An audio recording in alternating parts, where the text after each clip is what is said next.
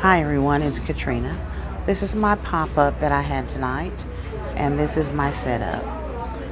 As you can see I used height to my advantage and the setup is beautiful. The table looked absolutely beautiful. That banner there, thank you Miss Yummy Tea Cakes because that banner was popping and it really set my setup off. So thank you so much. I use the floor for my larger baskets.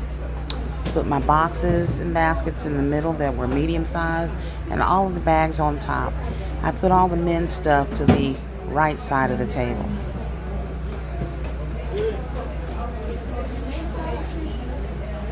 Now here is my best seller. You got it. It was the couple's date night basket.